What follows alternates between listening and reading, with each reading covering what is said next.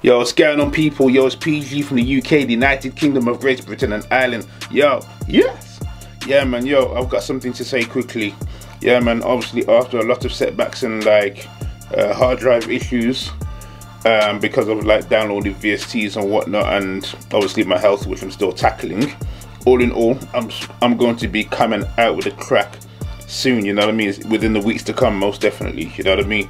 So like, yeah.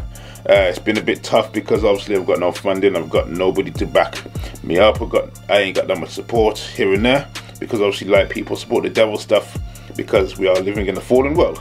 You know what I mean? And obviously I've been mixing and mastering my own stuff and whatnot and learning how to use these different gadgets. But yeah, um, but all in all, yeah, it will be coming soon. You know what I mean? Uh, obviously keep me in prayer, and obviously I'll be praying against the setbacks and whatnot. You know what I mean? Because I need to do this for the glory of God. So yeah, glory of Jesus Christ.